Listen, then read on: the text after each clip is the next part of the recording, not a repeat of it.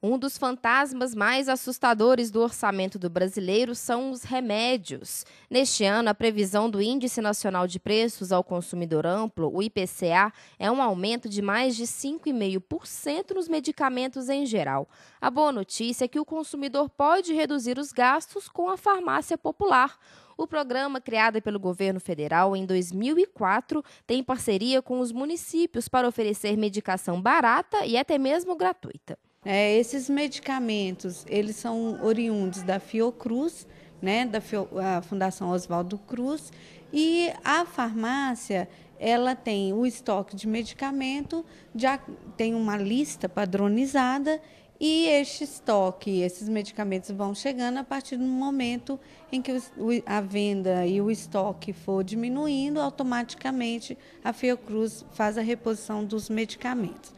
Para adquirir os remédios, basta o consumidor levar CPF para cadastro e receita de denominação genérica. Em caso de medicação para menor de idade, a documentação é do responsável. Em Ouro Preto, há uma sede de farmácia popular, mas a situação não está normal recepção vazia e caixas de remédios viradas. A falta de medicamentos vem desde o ano passado, depois de uma vistoria da Fiocruz, que suspendeu o fornecimento por condições de locação erradas e falta de alvará sanitário. No início, a farmácia popular ela foi é, aprovada e iniciada sem alvará sanitário, uma coisa que não era do nosso conhecimento.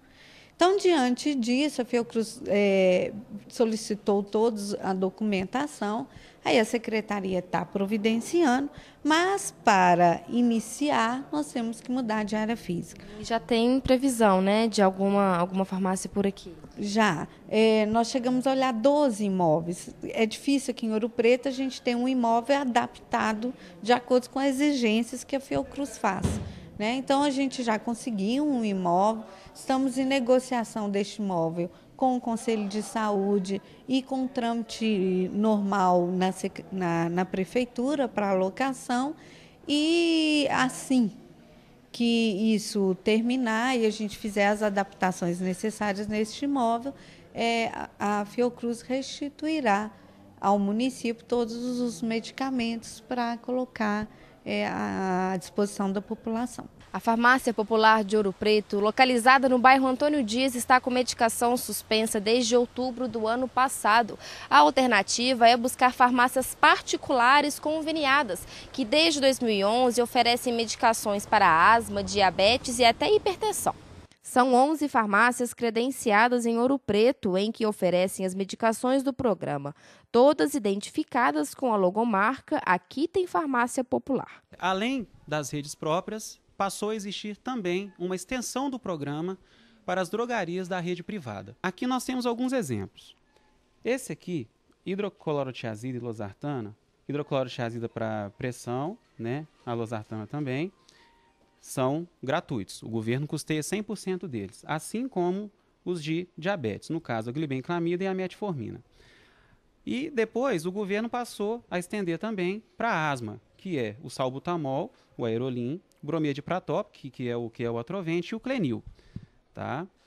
É, e até com até 90% de desconto, medicamentos para rinite, né, que é o que é o busonide, é, glaucoma, que é o alendronato de sódio, colesterol, simvastatina, e alguns anticoncepcionais. E também fraldas geriátricas.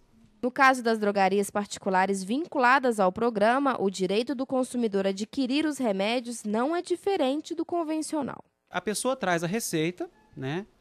E se os medicamentos constantes dessa receita tiverem na lista do, do, do, dos medicamentos que fazem parte do programa, aí a pessoa apresenta a receita, o CPF, o RG, né?